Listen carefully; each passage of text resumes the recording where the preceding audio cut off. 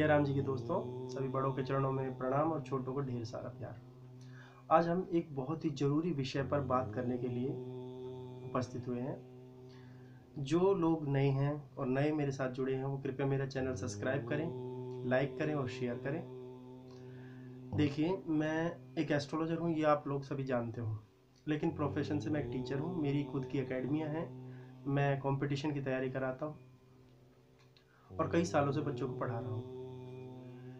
मैं आज आपको कुछ ऐसे उपाय बताऊँगा जिससे आने वाले एग्जामों में आप बहुत अच्छे मार्क्स प्राप्त कर सकते हो, चाहे वो स्कूल में पढ़ने वाले विद्यार्थी हैं, किसी भी तरह की कंपटीशन की तैयारी करते हैं। मेरी लगभग नौ दस वीडियो आने वाली ऐसी होंगी, जिनमें मैं बहुत सारे आपको टिप्स बताऊँगा कि किस तरह से आप बहुत अच्छे अंक प्राप्त करके और एग्ज़ाम में सक्सेस, अच्छे अंक प्राप्त करके सक्सेस प्राप्त कर सकते हो, नौकरी आपकी लग सकती है। लेकिन करना आपके हाथ में, मेरे हाथ में तो सिर्फ़ बताना है। मैं अपनी एकेडमी के सभी बच्चों को इस तरह के उपाय बताता हूँ और आज तक कोई ऐसा बच्चा नहीं है जिसकी शायद नौकरी ना लगी हो। कोई भी नहीं है शायद।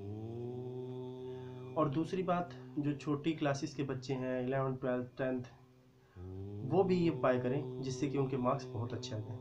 आज की वीडियो में मैं आपको दो ऐसे उपाय बताता हूँ जिससे आपके पढ़ने की कैपेसिटी अच्छी होगी और आपके मार्क्स बहुत अच्छे आएँगे। सबसे पहला उपाय सुनिए। आप जब भी पढ़ने बैठें, जब भी पढ़ने बैठें तो पूर्व दिशा की तरफ़ मुख करके बैठें। इससे आपकी सकारात्मक सोच रहेगी, आपका मन शांत रहेगा। जब मन शांत होता है, तभी जो है हमारा दिमाग अच्छे से वर्क करता है। इसलिए हमेशा पूर्व दिशा की तरफ़ मुँह करके बैठें जब भी आप बैठें। पढ़ने के। लिए दूसरा उपाय क्या करें? कोई भी एग्ज़ाम हो, चाहे वो कंपटीशन का एग्ज़ाम है या स्कूल का एग्ज़ाम है, आप कभी भी हार्ड वर्क ना करें स्मार्ट वर्क करें। वर्क करना बहुत ज़रूरी है, कार्य बहुत ज़रूरी है करना। गीता में लिखा गया है, भगवान श्री कृष्ण ने कहा है कि वर्क कोई भी वर्क हो कार्य करना जीवन के लिए बहुत अनिवार्य है। स्मार्ट वर्क से मेरा मतलब क्या है? हार्ड वर्क की मैं क्यों मना कर रहा हूँ? स्मार्ट वर्क क्या होता है? ऐसा वर्क जिसमें बहुत अच्छे मार्क्स कर, हम गेन कर सकें और हमें मेहनत कम करनी पड़े। वो क्या है? आप 10 साल तक के क्वेश्चन पेपर उठाइए।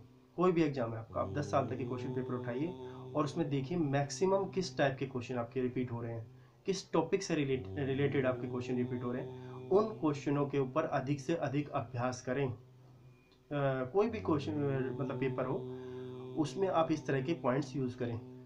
दस साल तक के पेपर उठाकर और देखें कि ज़्यादातर क्वेश्चन किस तरह के आए हैं किस किस टॉपिक पे एग्जामिनर अधिक फोकस कर रहा है।